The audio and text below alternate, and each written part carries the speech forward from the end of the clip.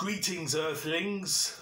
Welcome to another beer review from Planet Greece. Now, this one's a little bit controversial because I think, well, I know.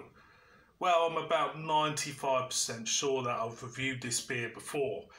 Reason by being I'm reviewing this beer again is because it's called something else and I've picked it up by mistake. But it's in its iconic bottle. Whoops. It's its iconic bottle. So, what beer is it, boys and girls? Heineken Pilsner. Now, I don't call that any call that uh, Pilsner in the UK, do they? Now we could split hairs here, and we could be, you know, I could be a pretentious beer snob and tell you how much difference a Pilsner is from a normal lager, but I'm not. I picked that up under the illusion that it was a different Heineken, but there's only one Heineken because um, I've just googled it.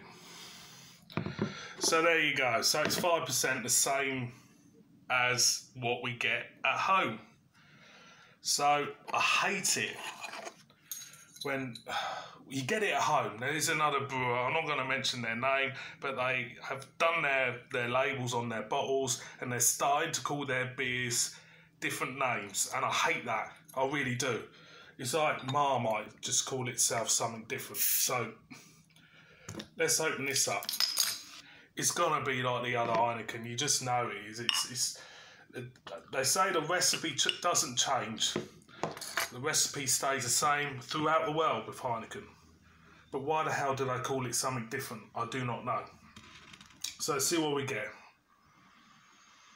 Now, when I did a review on Heineken, I didn't like it because it was a bit sweet for me. It was a very sweet lager. So let's see what we get in them.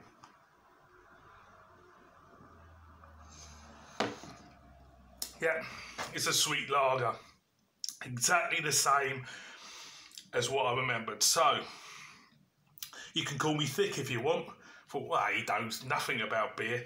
Look, I don't really, when it comes to stuff like this, if you're a consumer, you walk into a shop out here and you think you're picking up something slightly different.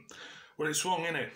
So at the end of the day, if out on your jollies in Greece or anywhere and you see Heineken Pilsner beer, it's the same Heineken. There you go, boys and girls. Thank you for watching this. Um, oh, do you want taste notes? I'll give you taste notes.